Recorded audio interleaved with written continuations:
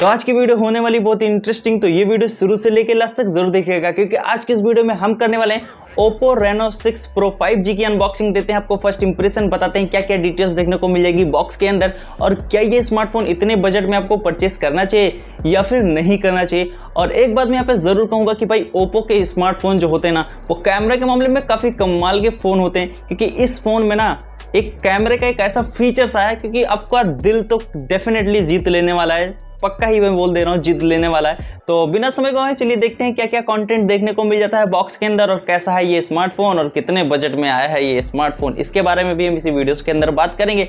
Hi guys मेरा नाम है कमल, करता हूँ सभी का स्वागत। है एक नई और इंटरेस्टिंग वीडियो में। वीडियो पसंद आए तो लाइक शेयर तो करिएगा ही। साथ ही साथ भाई के चैनल को सब्सक्राइब भी करिएगा। और हाँ बेल आइकन दबाना तो बिल्कुल भी मत भूलना, क्योंकि अगर बेल आइकन नहीं दबाओगे तो जब मैं वीडियो अपलोड करूँगा तो आपको नोटिफिकेशन नहीं मिलेगी। और हाँ यार बेल आइकन दबा लो, साथ ही साथ लाइक और कमेंट कर दिया करो।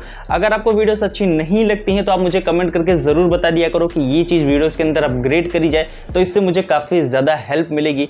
तो चलिए वीडियो स्टार्ट तो चलिए कर लेते हैं Oppo Reno 6 Pro का अनबॉक्सिंग देख लेते हैं क्या क्या कंटेंट देखने को मिल जाता है। उससे पहले बॉक्स की डिज़ाइन के बारे में बात करूँ तो औसम है। और यहाँ पे सबसे ऊपर हमें देखने को मिल जाता है बड़ा सा 6 उसके नीचे Oppo Reno 6 Pro 5G की ब्रांडिंग और लेफ़्ट हैंड साइड की बात करूँ तो यहाँ पे देखने को मिल जाता है Oppo Reno 6 Pro 5G right hand side side की बात करूँ तो यहाँ पे हमें देखने को मिल जाता है ओप्पो। नीचे की साइड कुछ देखने को नहीं मिलता है। ऊपर की साइड की बात करूँ तो ऊपर की साइड हमें जो है यहाँ पे कुछ डिटेल्स देखने को मिल जाता है। आप चाहो तो वीडियो को पॉज करके देख सकते हो। पीछे की साइड अगर मैं बात करूँ तो पीछे की साइड हमें कुछ देखने को नहीं मिलता है। हालाँकि ये जो वेरिएंट है वो बारह दो सौ छप्पन जीबी वाला वेरिएंट है। चलिए फटाफट से इसकी जो है वो अनबॉक्सिंग कर लेते हैं और निकाल लेते हैं। अपने स्मार्टफ़ोन को देख लेते हैं। क्या क्या कंटेंट देखने को मिल जाता है फटाफट से। तो बॉक्स को हटाते ही सबसे पहले हमें एक और बॉक्स देखने को मिल जा, मिल जाता है, जिसपे हमें ओप्पो की ब्रांडिंग देखने को मिल जाती है। साथ ही साथ अगर इसकी डिज़ाइन और क्वालिटी के बारे में बात करूँ तो वो भी बहुत ही औसम देखने को मिल जाता है। अब चलिए फटाफट से अपने स्मार्टफ़ोन को हम बाहर निकाल लेते हैं। तो यहाँ पे हमें बॉक्स हटाते ही सबसे पहले हमें जो देखने को मिल जाती है, वो एक लिड देखने को मिल जाती है। तो लिड को चलिए अब हम निकाल लेते हैं बाहर, और उसके बाद देखते हैं कौन सा कंटेंट हमें अंदर साइड के साइड देखने को मिल जाता है। यहाँ पे लिड को हटाते ही सबसे पहले हमें यहाँ पे हमारा स्मार्टफ़ोन देखने को मिल जाता है। तो स्मार्टफ़ोन को हम बाहर निकाल लेते हैं। और स्मार्टफ़ोन की अगर वेट की बात करूँ तो मुझे काफ़ी ज़्यादा लाइट वेट लगा और स्मार्टफ़ोन को रख देते हैं साइड और देख लेते हैं अपने और भी कंटेंट को। तो यहाँ इस, इसको हटाते ही सबसे पहले हमें देखने को मिल जाता है हमारा चार्जर जो है 65 वॉट का सुपर फास्ट चार्जर यानी यहाँ पे जो हमें चार्जर देखने को मिलता है, वो सुपर वुक चार्जर देखने को मिल जाता है। 65 वॉट का हालाँकि कंपनी ऐसा क्लेम करती है कि zero to hundred percent thirty one minute में ये चार्जर जो है वो चार्ज कर देगा। तो ये मुझे बहुत ही कमाल की चीज़ लगी इस चार्जर के, और वैसे भी चार्जर का मतलब वेट जो है वो काफ़ी ज़्यादा है। और दूसरी चीज़ अगर यहाँ पे मैं देख लूँ तो दूसरा हमें जो यहाँ पे देखने को मिलता है वो ईयरफोन है, जो है टाइप सी ये मुझे काफ़ी कमाल की चीज़ लगी, क्योंकि 3.5 mm का जैक हमें स्मार्टफ़ोन में नहीं देखने को मिलेगा। और यहाँ पे कोई अडाप्टर वगैरह इन्होंने नहीं दरा डायरेक्ट ही ईयरफोन ही बना दिया। और दूसरी बात करूँ तो यहाँ पे हमें जो है वो टाइप सी की केबल देखने को मिल जाती है यूएसबी बाकी हमें बॉक्स में कुछ देखने को नहीं मिलता है। अब चलिए देख लेते हैं अपने लिड को कि लिड में हमें क्या क्या चीज़ देखने को मिल जाती है। तो फटाफट से निकाल लेते हैं बाहर और यहाँ पे हमें सबसे पहले देखने को मिल जाता है लिड में यहाँ पे सिम इजेक्टर टूल और दूसरी बात यहाँ पे हमें देखने को मिल जाता है कुछ प्रेम पत्र, और तीसरी यहाँ पे जो हमें चीज़ देखने को मिलती है, वो है हमारा जो है वो केस, यानी कवर हमें देखने को मिल जाता है। और वैसे भी ये दो महीने बाद जो है वो पीला पड़ जाएगा ये कवर। और अब चलिए अपने स्मार्टफ़ोन को देख लेते हैं। बाकी फ़ोन में हमें कुछ भी देखने को नहीं मिलता है बॉक्स में। तो फटाफट से फ़ोन को निकाल लेते हैं बाहर। और यहाँ पे अगर मैं फ़ोन की बात करूँ तो मुझे काफ़ी ज़्यादा अच्छा लग रहा है। एक एक्सपेंसिव फ़ोन जैसा फील करा रहा है। फटाफट से इसको कर लेते हैं बूट करते हैं सेटअप वगैरह, देखते हैं क्या क्या अंदर फीचर्स है, किसके, उसके लिए मैं भी काफ़ी ज़्यादा उतावला हूँ। और इसको भी हम निकाल लेते हैं फटाक से बाहर, क्योंकि ये इसकी इस खूबसूरती को बेकार कर रहा था। और वाकई बताओ तो ये स्मार्टफ़ोन काफ़ी कमाल का देखने को मिल लग रहा है। जो ये कलर है ना, वो बहुत ही कमाल का कलर है। मतलब आप जैसे देख रहे हो, जिधर घुमाओगे, वैसे ये कलर को अपने आप बनाता रहता है। ये मुझे काफ़ी कमाल का लगा।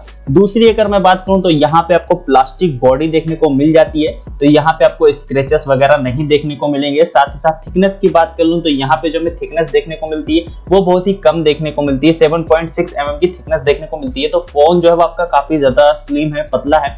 और स्क्रेचेस वगैरह आपको बैक में नहीं देखने को मिलेंगे। साथ ही जो है वो फाइबर मतलब पॉली पॉलीकार्बोनेट बॉडी के साथ ही देखने को मिल जाता है। और अब चलिए कुछ डिटेल्स वगैरह के बारे में बात कर लेते हैं। अपने स्मार्टफ़ोन को कर लेते हैं बूट तो यहाँ पे हमारा स्मार्टफ़ोन हो चुका है बूट और अब चलिए कुछ डिटेल्स के बारे में बात कर लेते हैं। तो राइट हैंड साइड पे हमें जो है वो पावर ऑन ऑफ़ की बटन देखने को मिल जाती है। और लेफ़्ट हैंड साइड पे हमें वॉल्यूम अप और डाउन की बटन देखने को मिल जाती है।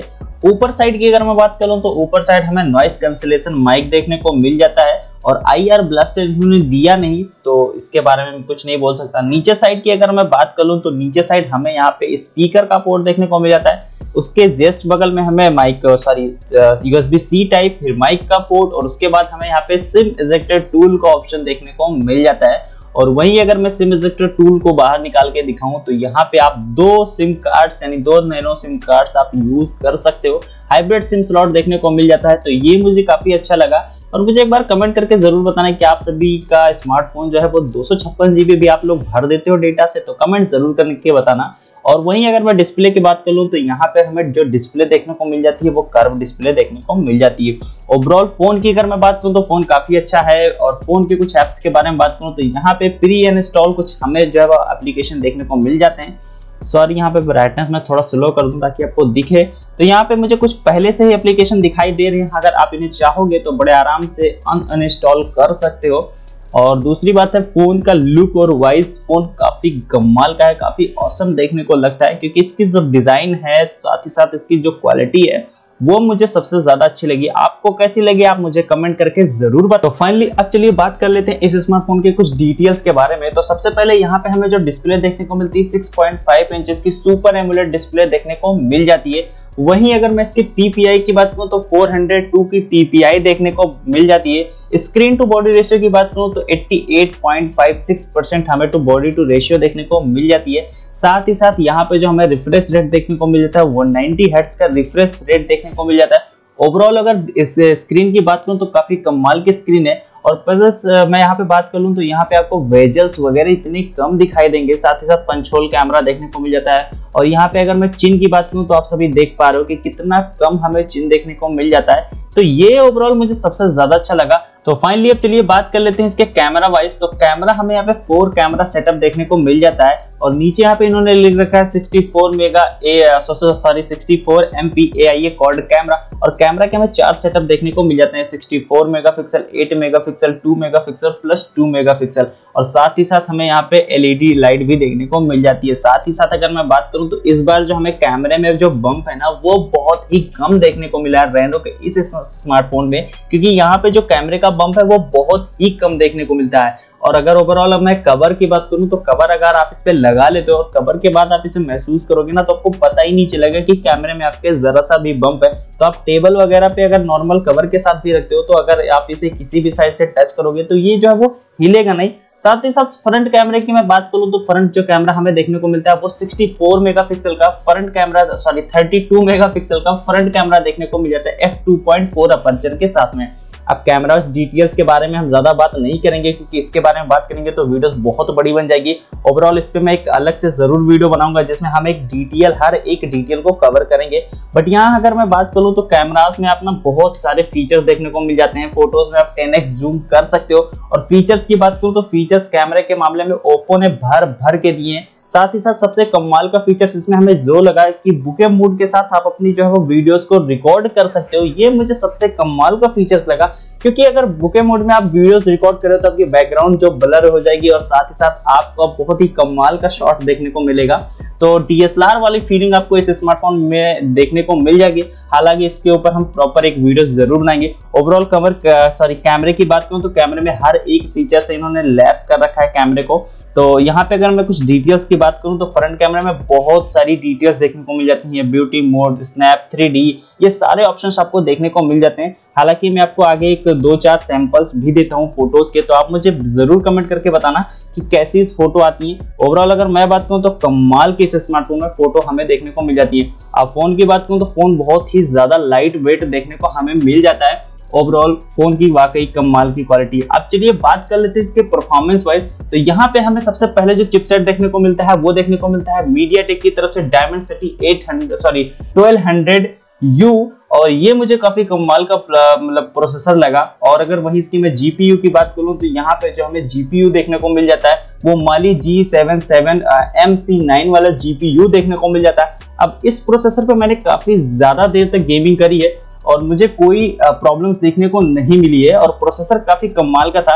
रैम की बात करूँ तो L P D D R four X RAM देखने को मिल जाता है। इस प्रोसेसर की अगर मैं बेंच के बारे में बात करूँ तो पाँच लाख तिरानबे चार सौ चौवन के आसपास में इसका जो है बेंच स्कोर आता है। और वहीं अगर मैं इसकी यहाँ पे कलर ओएस की बात करूँ तो 11.3 का आप देखने को मिल जाता है। एंड्रॉइड 11 देखने को मिलता है। आउट ऑफ़ द बॉक्स तो ये मुझे कहीं ना कहीं सबसे कमाल की चीज़ लगी कि आपको कोई भी अपडेट्स वगैरह तक वेट नहीं करना है। आउट ऑफ़ द बॉक्स आपको 11 एंड सॉरी एंड्रॉइड 11 का अपडेट देखने को मिल जाएगा। अब चलिए बात कर लेते हैं कुछ टेस्टिंग के बारे में। तो सबसे पहले हम यहाँ पे लगा लेते हैं अपना फिंगरप्रिंट टेस्ट और उसके बाद करते हैं फिंगरप्रिंट टेस्ट देखते हैं कितना फास्ट ये स्मार्टफ़ोन जो है फिंगरप्रिंट एक्सेप्ट करता है। तो फटाफट से मैंने यहाँ पे फिंगरप्रिंट जो है वो सेटअप कर लिया है। और मुझे काफ़ी ज़्यादा फास्ट लगा क्योंकि यार बहुत ही ज़्यादा एडवांस है। यहाँ पे आप देख रहे हो, मैं इसके ऐसे टच करता हूँ और ये जो तुरंत ही फ़ोन को अनलॉक कर देता है। तो यहाँ पे अगर मैं फिंगरप्रिंट की बात करूँ तो फिंगरप्रिंट मुझे काफ़ी ज़्यादा फास्ट लगा। आप देख सकते हो मतलब काफ़ी ज़्यादा फास्ट है। वाओ काफ़ी ज़्यादा फास्ट है। तो अब चलिए कर लेते हैं इस स्मार्टफ़ोन का साउंड टेस्ट और आप सुनो और एंजॉय करो। उसके बाद आप मुझे बताना साउंड क्वालिटी कैसी है।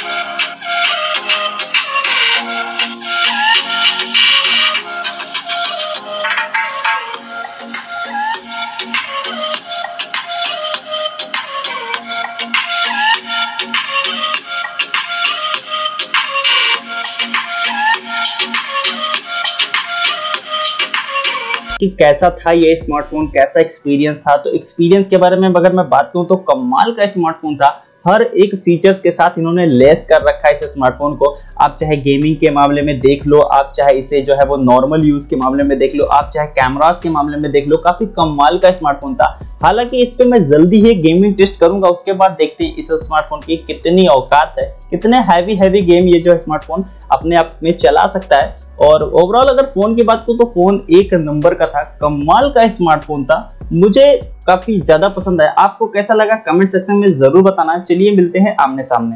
तो आई होप आप सभी को अनबॉक्सिंग वीडियो बहुत ही अच्छी लगेगी वीडियो अच्छी लगी हो तो लाइक शेयर तो करिएगा ही, साथ ही साथ भाई के चैनल को सब्सक्राइब भी करिएगा। और हाँ कमेंट सेक्शन में अपना ओपिनियन ज़रूर लिखना। मिलते हैं नेक्स्ट वीडियो में, तब तक के लिए बाय एंड सानरा आई एम साइनिंग आउट